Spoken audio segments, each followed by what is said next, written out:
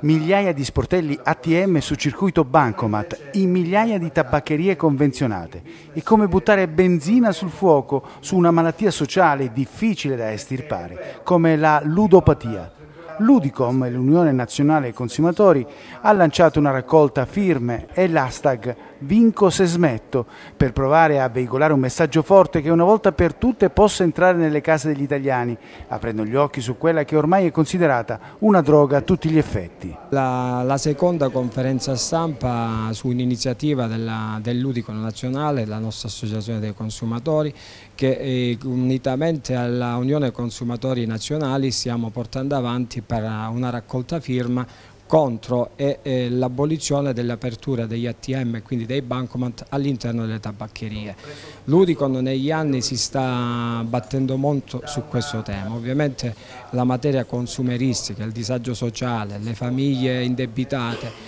e non si possono permettere questi problemi eh, di ludopatia e di, di, giochi di ogni tipo e di ogni livello. Quindi noi riteniamo che questa apertura sia uh, un disagio, un grave pericolo a chi ha, questo vizio eh, e quindi possiamo incorrere in grandissimi, grandissimi problemi economici. Abbiamo chiesto attraverso una, una lettera inviata, dal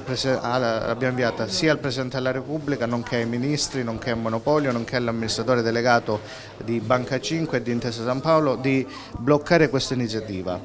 perché è solo un'iniziativa per fare business, perché è vero che fino al 2019 non si pagheranno le commissioni sul eh, prelievo, ma dal 2020, dal 1 gennaio 2020 si pagheranno 2 euro di commissione, quindi la logica è quella di fare business e non si può fare business sulla pelle dei consumatori e degli utenti. Quindi eh, questa nostra iniziativa consisterà nell'andare in tutte le spiagge più importanti d'Italia e in tutte le città più importanti d'Italia a fare una petizione, già partita attraverso eh, il, la prima conferenza stampa che abbiamo fatto a Salerno e proseguirà per tutto il mese di agosto e il mese di settembre.